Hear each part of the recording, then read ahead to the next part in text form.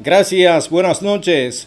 Aquí están las principales informaciones de Santiago y la región norte del país en este resumen de AN7 Estelar.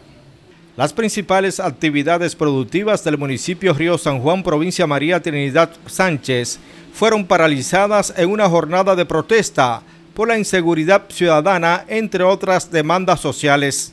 El comercio cerró sus puertas, el transporte desde Río San Juan, Nagua, Gaspar Hernández y Cabrera fue nulo, mientras que la docencia fue suspendida. El negocio está todo cerrado. Lo único que son los dueños del pueblo porque son los banqueros. Los que han beneficiado de este pueblo y no apoyan las actividades. Nunca están abiertas, ya que ellos lo han, sido, le han hecho su atraco siempre y nosotros tenemos que apoyar este paro. Pero va excelente, yo saludo al pueblo de San Juan. La huelga fue convocada por un conjunto de organizaciones sociales y populares quienes demandan seguridad ciudadana y la construcción de obras.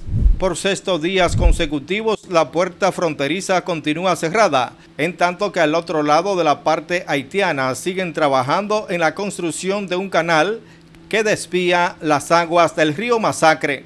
Esta situación mantiene enfrentado a dominicanos y haitianos, afectando el tradicional intercambio comercial. Pero por encima de la alimentación y el comercio tiene que estar la patria el derecho inalienable que tenemos nosotros como fronterizos y como dominicanos. Yo me inscribo dentro de la posición fijada por el presidente de la República. Estamos respaldando la medida tomada por el señor presidente. La Cámara de Comercio y Producción de la provincia de Santiago Rodríguez reconoció la labor del director de la Policía Nacional, Mayor General Eduardo Alberto Ten, en medio de un acto celebrado en el municipio Sabaneta, donde asistieron comerciantes y representativos de instituciones sociales. Sabemos que estamos divididos siempre en dos, entre buenos y malos. A nosotros nos hicieron para defender los buenos. Y vamos a defender los buenos hasta que nos quede la última gota de sangre como Policía Nacional.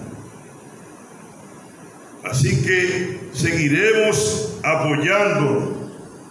Si falta algo, pues solicítenlo, que lo vamos, lo vamos a lograr con el apoyo de mi comandante en jefe, que me lo prueba todo para dar seguridad ciudadana a las diferentes provincias de este país. El empresario Dani Pérez, aspirante a dirigir la Junta Distrital del Iguerito en Moca por el partido Fuerza del Pueblo, entregó un donativo a la unidad de atención primaria de la comunidad de Bonagua. Dani Pérez, en compañía del aspirante a diputado José Mendoza, hicieron el donativo de desinfectantes para combatir y evitar el contagio del dengue. Haciendo entrega de una lacto para que sea utilizada acá en, la policlínica y también estamos haciendo entrega de desinfectantes y manitas limpias para la higiene de acá de, la policlínica. Estamos hoy acá, Dani Pérez.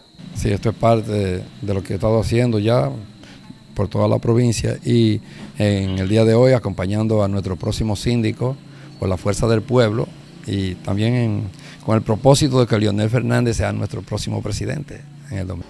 Por mi parte es toda la información que manejo desde la zona del Cibao. Ahora retorno la señal al PSEP informativo en Santo Domingo. Buenas noches.